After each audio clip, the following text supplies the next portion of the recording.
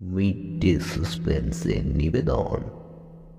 ভৌতিক ঘটনা episode one. আজকের গল্প, পায়েল দাসের লেখা। সাবধান সে আসছে। গত রাতে যখন আমি আমার বসার ঘরে বসে ঘুমানোর আগে একটু টিভি দেখছিলাম, তখন আমি একটা অদ্ভুত আওয়াজ শুনতে পেলাম। এটি একটি ধীর শক্ত কাঠের মেঝে জুড়ে স্ক্র্যাপিং ছিল। বিভ্রান্ত হয়ে আমি শব্দের উৎস খুঁজলাম এবং আমি অবিলম্বে এটি খুঁজে পেয়েছি। দরজার নিচে কেউ একটি ছোট ভাঁজ করা নোট রেখেছিল। কিসেরে যে কোনো কিছুর চেয়ে বেশি কৌতূহলী।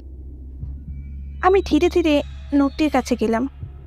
আমি সাবধানে নতজানু হয়ে অদ্ভুত কাগজটা তুলে নিলাম। এটিতে কেবল পাঁচটি শব্দ ছিল। একটি অশোধিত অগোছল ভঙ্গিতে স্ক্রোল করা হয়েছিল। তাতে লেখা ছিল সাবধান সে আসছে।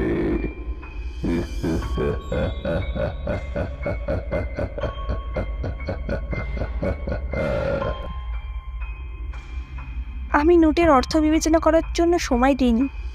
তার আগেই